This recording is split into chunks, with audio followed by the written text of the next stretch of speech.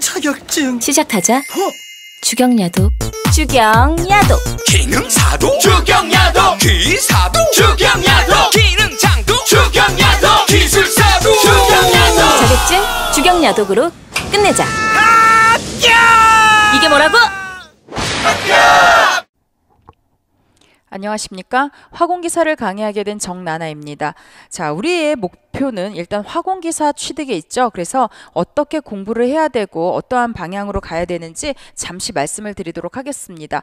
화학공학과를 전공하신 분들은 사실 뭐 이 OT가 큰 의미가 있지는 않아요. 이미 다 알고 계실 거니까. 그렇지만 혹시 관련 학과라든가 아니면 정말로 비전공인데 이 분야는 아니지만 한번 도전해보고 싶으시다는 분들을 위해서 어, 간략하게 말씀을 드리도록 하겠습니다. 자, 이 화공 기사가 어렵다는 선입견이 있어요. 그죠? 물론 쉽지는 않아요. 그렇지만, 어, 우리가 화공 기사라는 건 60점만 넘으면 취득이 가능하기 때문에 그거에 대해서는 큰 어려움이 없다고 저는 생각을 합니다. 과목 수가 일단 많기는 해요. 연력학이 있고요. 그 다음에 화공 양론. 그 다음에 단위 조작이 있죠? 단위 조작이 있고요. 자, 그 다음에 공정 제어가 있고요. 그 다음에 무기공업화, 유기공업화, 자, 그 다음에 마지막으로 반응공학 이렇게 있습니다.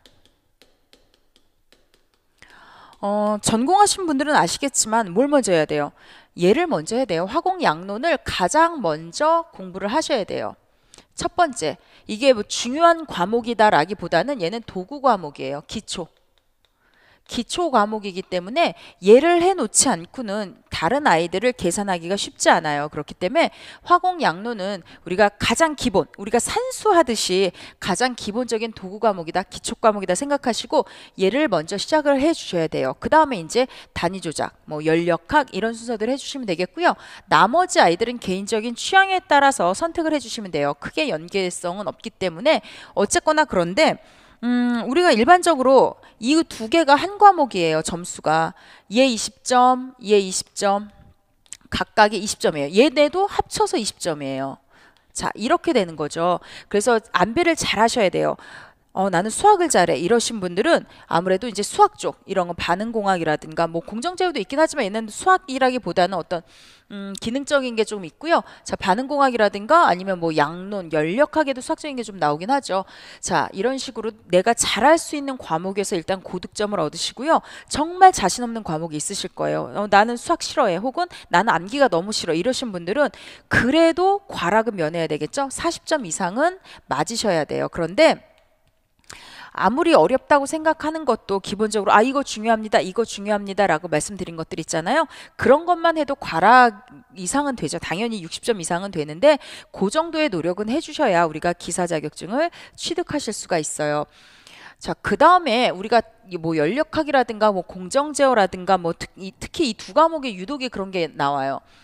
그 뜬금없이 그죠? 그러니까는 정말 전공서적 어디 귀퉁이에 있는 거 아니면 거기에조차서도 찾기 어려운 그 뜬금없는 질문 문제들이 어쩌다가 나올 때가 있어요 한두 문제씩. 그러면 그런 것들은 과감히 틀려주셔도 돼요. 그러면 그런 건 찍으시면 돼요 그냥. 자 그런 것까지 우리가 알기 위해서 모든 전공서적을 다 간파하기에는 시간적으로도 모자라고요. 그런 노력을 하기에도 사실은 음 그래요. 우리는 어쨌거나 평균 60점 이상이면 되는 거기 때문에 때문에 굳이 그렇게 고생을 하실 필요는 없는데 그래도 나는 학구적이야 하고 싶어 하면 하셔도 돼요 그렇게 그래서 일반적으로 가장 많이 나오는 유형들, 가장 많이 나오는 내용들을 중심으로 어, 프로그램이 구성이 되어 있고요. 그 다음에 이제 가끔씩 제가 이제 설명을 드린 것 중에서도 너무 나는 이거 모르겠다 어렵다 하면은 굳이 그런 거는 뭐 안 하셔도 상관없어요. 그렇다고 그게 너무 많아지면 40점도 안 나와요. 그렇게는 안 되지만 어쩌다 한 단원, 어쩌다 한 단원도 아니고 어쩌다 한두 뭐 페이지 뭐 이런 거는 그냥 내가 너무 어려서 못 하겠다 싶은 건 간과하셔도 크게 합격에는 지장은 없어요. 자, 그렇지만 안배는 잘 하셔야 되겠죠. 자신 있는 과목에서 고득점, 그 다음에 절대 과락은 안 되고요. 과락만 안 되는 게 아니라 제가 볼 때는 그래도 60점 정도는 최소한 과목이 60점 정도는 맞아 주셔야 아, 좋을 것 같습니다. 60점 정도 맞는데 어려운 과목은 한 개도 없어요. 사실은 여기서 가장 어려운 과목이 대부분들은 공정 제어예요. 이게 좀 어렵기는 해요. 사실은 왜냐면은 우리가 정말로 자동 제어를 해야 되는 거잖아요. 근데 지금 눈으로 보는 것도 없고 그냥 우리가 이론적으로 수식으로만 갖고 얘기를 하고 이론만 갖고 얘기를 하기 때문에 조금 덜 와닿는 학문이긴 하죠. 다른 거에 비해서 그래서 어렵지만 얘도 이거는 외우세요, 이건 하세요라고 말씀드린 것만 하면 충분히 이거 이상은 점수를 받을 수 있는 과목입니다. 자, 그래서 우리가 이렇게 나눠 봤고요. 그 다음에 특히나 우리가 어, 공부를 열심히 해야 되는 과목 단위 조작. 이거는 완벽하게 해놓으세요. 1차 때. 왜냐하면 얘가 필답형에서 8, 90%를 차지해요. 그럼 나머지 10%, 뭐 많게는 뭐 20%까지도 사실은 아니지만 한두 문제가 어쨌거나 어디서 나와요? 다른 데서 출제가 돼요. 어쩌다가 한 번씩은 다른 데서 출제가 되는데 혹시나 2차 때 걔네들을 놓칠 수가 있거든요. 왜냐면 여기서 대부분이 나오는데 이런 데에 막 신경을 쓰시는 분들은 많진 않아요. 여기서 나올 만한 것들만 뽑아서 공부를 하죠. 그죠? 이것도 다 다시 공부를 한다는 건 효율적으로 너무 승산이 없고요. 정말 나올 만한 것만 추려서 이건 하시면 돼요.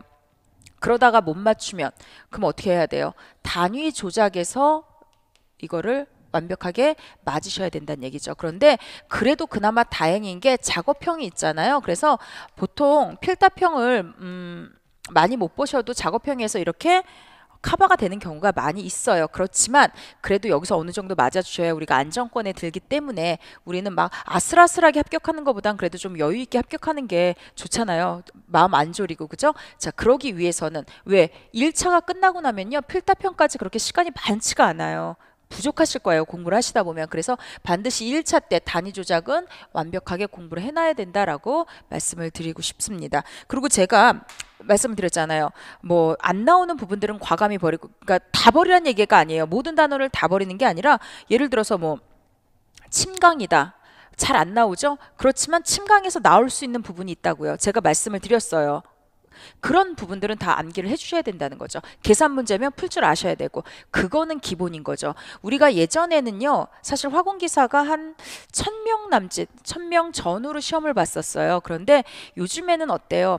음, 취업도 많이 어려워지고요. 사실 자격증을 갖지 않고 이런 전공으로 취업을 한다는 게 쉽지가 않기 때문에 요새는 한 3, 4천 명 이렇게 늘어나 버렸어요. 그리고 합격률도 예전보다 훨씬 좋아졌어요.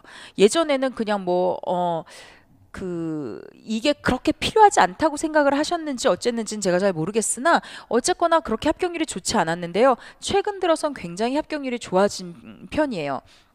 그래서 아, 할만하구나. 그리고 문제도 많이 어렵지 않고 또 하나 팁을 드리자면 기출 문제 있잖아요. 이 기출 문제 풀이를 꼭 보셔야 돼요. 기사 자격증은요, 기출 문제 중에서 돌고 도는 문제들이 있어요. 이것만 잡아도 굉장히 득템이에요. 그래서 자, 이 기출 문제를 반드시 풀어보셔야 되는데, 우리 교재 보시면 2012년도부터 16년도 거까지 수록이 되어 있고요. 나머지 그 전에 거 있잖아요. 11년부터 그 앞선 거, 이런 것도 수록이 되어 있어요. 기본 우리가 단원이 끝나는 문제 풀이들 있잖아요. 여기 문제들이 대부분 수록이 되어 있기 때문에 이게 지금 몇 년치예요, 지금. 그렇잖아요. 그래서 사실 이 문제풀이 우리가 같이 공부한 것 이론 플러스 이 문제들만 가지고도요 사실 합격을 충분히 할 수 있습니다 충분히 할 수 있고요 어, 너무 겁먹지 않으셨으면 좋겠습니다 그 다음에 어, 취업이 목적이신 분이 있잖아요 일단 얘를 따서 그 다음에 두 번째는 공무원 공사 이런 것들을 보시는 분들이 있어요. 특히 공무원 화공직 공무원을 보시는 분들이 있잖아요. 이런 분들께 잠깐만 말씀을 드릴게요. 화공직 공무원을 보시는 분들은 어, 사실 이걸 다 공부해야 돼요. 이거보다 범위가 조금 더 있어요. 사실은 어, 예, 이거, 이거, 이거, 그 다음에 예, 예 이렇게 V자로 된 게요. 화공 일반이에요. 그 다음에 요게요. 공업화학이라고 해서 두 과목을 보죠. 전공 과목이. 제가 왜 이 말씀을 드리냐면 화공직을 준비하시기 위해서 화공기사를 따시는 분들이 굉장히 많아요. 화공직을 공부하는데 나는 이거보다 쉬운 자격증을 딸래. 이러신 분들은 사실은 현명하지 못한 선택이에요. 왜냐하면 그거 따로 공부하고 이거 따로 공부하려면 어차피 얘네들 다 공부해줘야 되고 이러거든요. 그럼 공부할 양이 두 배로 늘어나요. 그러니까 차라리 화공 기사를 보시면 이게 전부 다 여기에 들어가기 때문에 이게 훨씬 유리한 방법이에요. 그러니까 반드시 제가 화공직 공무원을 특히나 공부하시는 분들은 화공 기사 취득은 기본이에요. 공부가 기본이라는 걸 다시 한번 말씀을 드릴게요.